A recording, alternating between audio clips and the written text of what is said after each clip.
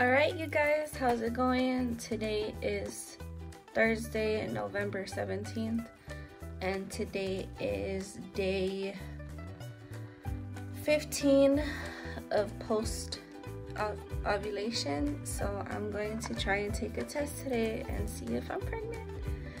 So let's go ahead and see. I have the test and i'm gonna go ahead and Mm, go ahead and take it today for the past three days. Four days i've been waking up really hot nauseous. Like right now i'm really hot and nauseous so let's see what happens. Hopefully i'm pregnant you guys. I'll come back and let y'all know.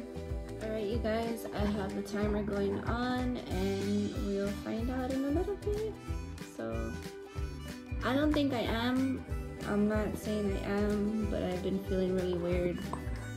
So we'll see how it goes.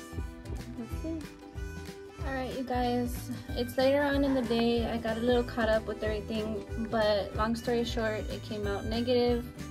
I think I'm testing too early, so I will try and test maybe next week sometime. I'm just not gonna worry about it. I'm not gonna let it stress me out or, you know, get down about it. But since it's negative, that means keep trying. So uh, yeah so that's what that's what ended up happening. It was a negative so i'll see y'all next time. Bye. Thank you for watching